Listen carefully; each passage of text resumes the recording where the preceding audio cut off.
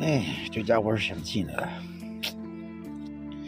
太阳一下山，我这往帐篷里待，他就想个办法，一直想进来，就这么蹭着蹭着就进来了。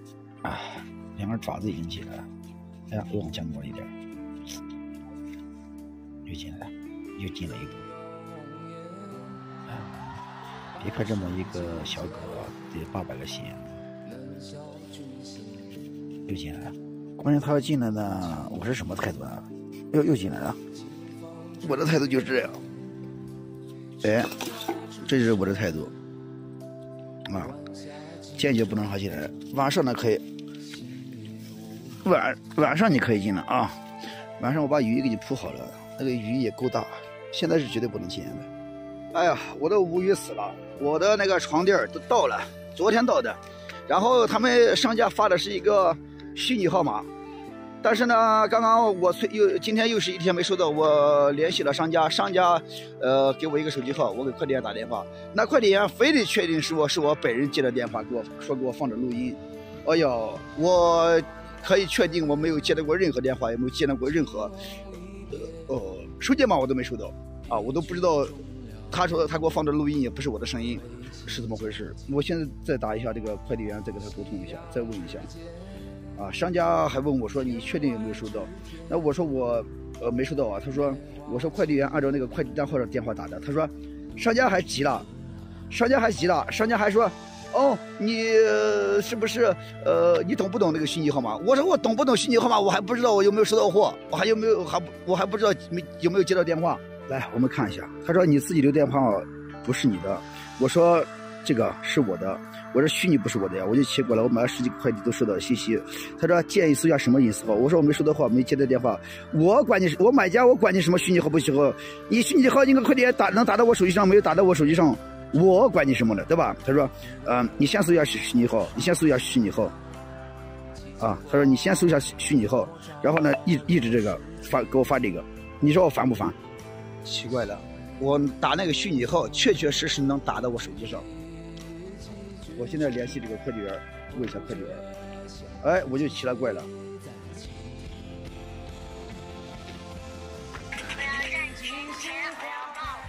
第一次遇到这种情况。喂，哎，你好，我就是刚才，哎，你打那个九幺零九，他说是虚拟号，你有输入我手机那个后四位吗？拨了，你打了九幺零九是直接通了，还是输入那个呃那四个呃手机尾号后我手机尾号后四位？他商家说是虚拟号码。我把那个拨了，然后是输那个手机尾号，然后按电话键结束。哎，那就奇怪了。那我我跟你说，我是真的没有收到，因为我这两天一直在等这个快递。我昨天看签收，然后取件码，我一直都都呃都在呃我住的这个地方的呀。那快递是。呃，你的地址在哪里？我给你加了，不是有微信吗？我给你发位置就行了。啊，你给我发位置，东西还在你那儿是吧？啊，只要在就行了，那那就行了。好，我一直没有取件嘛。快递员也是个人才。那你东西在那里打电话，我根本都没没有打打到我手机上，我也没有接过电话。啊，现在呢？哦，你跟我说让我过去拿，那你跟我说过去拿，你你就跟我说东西在那就好了呀，还让我去，还我我去找商家。啊，商家还说你确定没有收到？商家，商家说，呃，这样那样，还把我还还一堆凶。哎，我买个东西，我还买出，我还买出，我还买出问题了。凌晨十二点，这家伙是要进来。昨天晚上让他在这个位置睡着，但是他今天一直要在这里落。问过三次，过了三次，所以今天为了让我长记性，一然后把它关到外边。哎呀，十二点半，不行，扒这个帘子扒的就扒的就不行，这不让进还不行。嗯，要不要进来？要不要进来？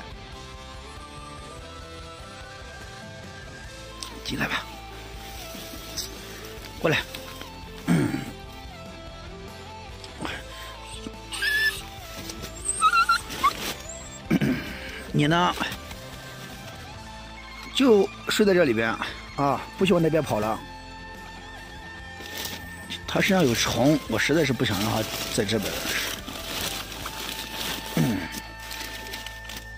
它睡在这里边，它比我睡得香。说放在外边它冷，它还能报个警。现在呢，啊，开始睡觉了，睡得死死的，哎呀，给你盖着，哎呦，哎，好了，哎呀，昨天晚上在这里边睡，还好没有尿，因为昨天晚上是忙完都三点了。老白也要睡觉了，明天拿完快递出发。十二点半，温度零下一度。九点钟刚刚睡起来，哎呦，听到小白叫了，然后看一个大叔在这儿捡那个瓶子，还有纸壳子。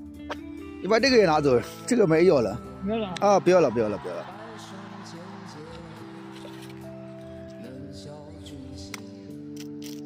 让开。让开！这家伙，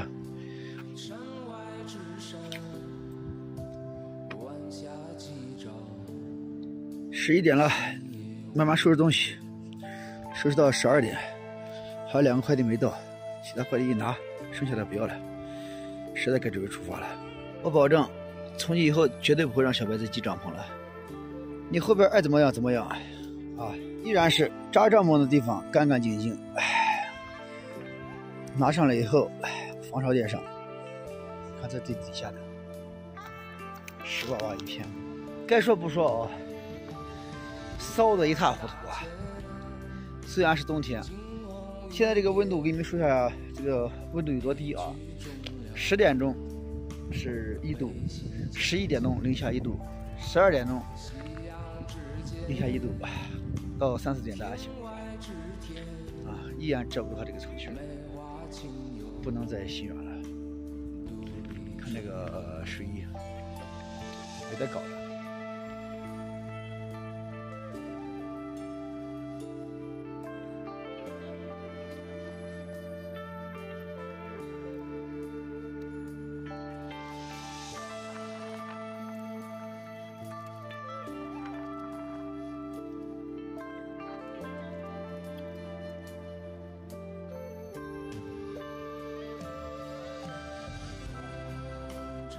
我现在要往回返三公里，拿快递，一来一回六公里。徒步老哥说，他今天能走十五六公里，也就三十公里。我到下午就追上他了。拿快递的人是真多，六个快递只拿了两个，哈，我都服了。我那个床垫呢？昨天晚上不是连了个客服嘛，他给我发了地址让我去拿。嘿，我去拿了，他又说在吃饭。昨天晚上我去拿，他说他下班了，吃饭，那咱能理解。现在呢，又是在吃在吃饭，那我就不等了，对吧？我要走，然后我跟商家，我跟商家说，我说我退了。商家说，那你把货给我退回来。我说东西我都没拿到，我拿什么给你退？商家说，你都没给我退，我怎么给你退？我说行行行，我说我，哎，我说头我在网上买东西买这么久，第一次遇到这种商家啊，他不找快递，直接给客户怼。哎呀，把我气的呀！我直接给他说，我说你慢慢玩吧，我不跟你玩了啊。我说你，我说你这个商家是真厉害。我说快递我都没有拿到，我拿什么给你退？他说退到了才给我退款。我说我都没拿到，怎么给你退？我说我去找平台啊，我不跟你说了，说不清楚。哦，他说啊，那我联系快递处理一下，那让他处理嘛。现在只拿了两个快递，相当于气我转了，篷布退了，还有这个就是这个垫子，但是我最主要的就这俩。结果御寒的现在这俩都没到啊！这黄土高原上面长点树长点草，你就是说山也无可厚非，对吧？现在这体力还行，一口气儿啊，虽然没有特别大的坡，但是也是有坡的，一口气蹬了十五公里啊，中间都不带休息的，累是累了点看来这体力 体力还是 beautiful，喘口气。喝口水啊，继续，距离老哥还有十五公里。现在呢就是下坡，大家看一下我这速度，我也没摁刹车，看到没有？前后都没有，看到没有？它的速度很均匀啊。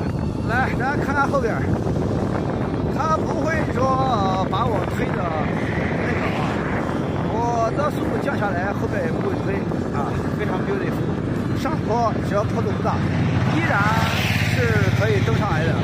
感受一下大西北。哎，手机像素不行，这玩意儿是真的高啊。大西北，看着确实是一片荒芜，那个荒凉感。这运气，刚看到土拨哥，嘿，链子掉了，看到没有？土拨哥在那里？先推过去，把小白弄下来，看晴天，晴天，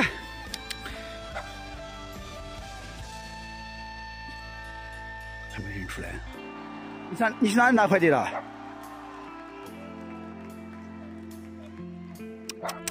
哎，这里有一堆柴。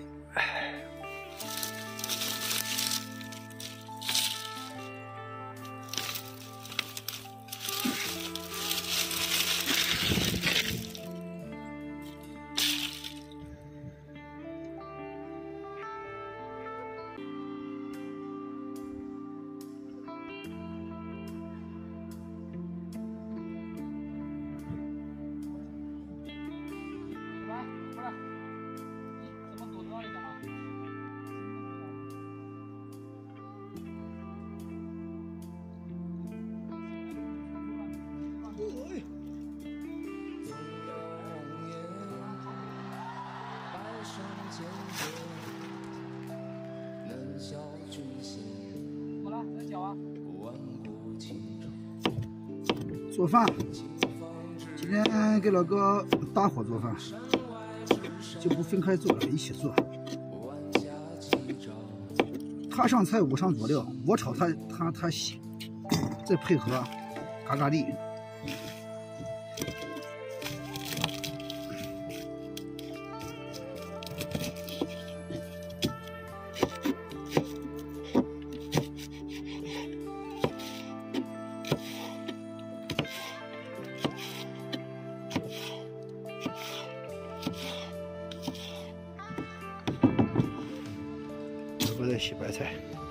老哥说菜搞多搞一点，配料弄好了，开干，开始生火。这是大西北啊，这材料好找。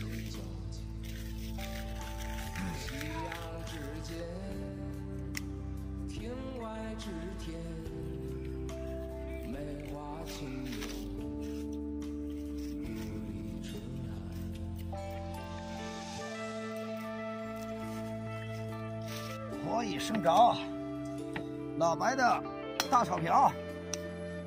哎呀，今天啊，就是试试这个骡子的试真经的时刻了。管不管用，就看这一下子了。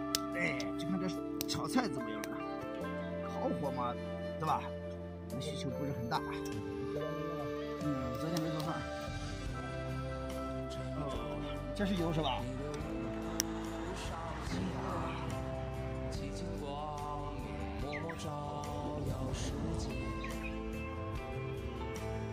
哦，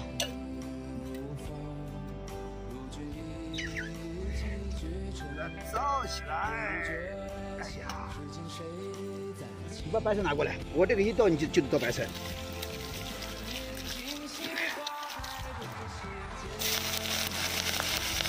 倒白菜，好了，我炒，我炒三锅，炒多少？炒三锅，你往那里还有一锅，那这一锅白菜就一个菜就够了，你吃饱了你还炒那么多浪费干嘛？就炒这一个菜。晚上吃啊，你晚上不会吃。这够了够了够了，我吃炒下来一会儿看，哪有现成的火？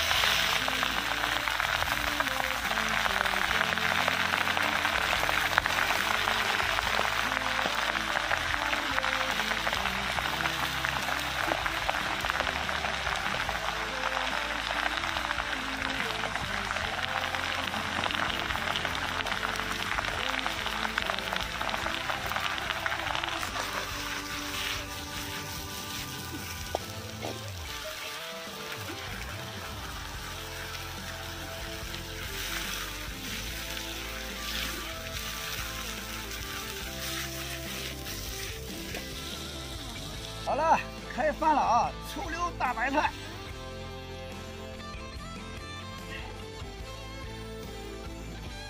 你看，这炉子可以，嗯，要求不要太高。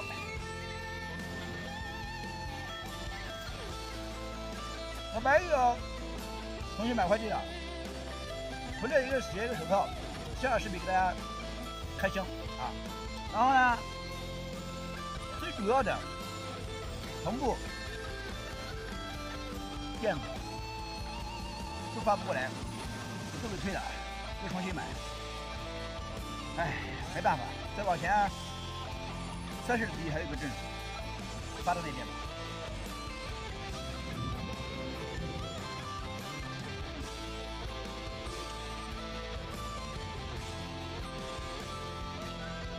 那我俩要吃饭了啊！这个视频就就到这里啊，感谢大家，再见。